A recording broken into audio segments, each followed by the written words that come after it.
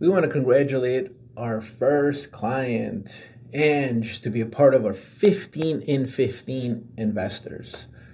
She invested $100,000 for 14 months for a yearly return of 7.99%, which equates to $665.83 per month that she will be receiving for a grand total for the 14 months of $9,321.67. Ang is well on her way to achieving her goal of early retirement through passive investing. The MV team will work closely with her to make this come true.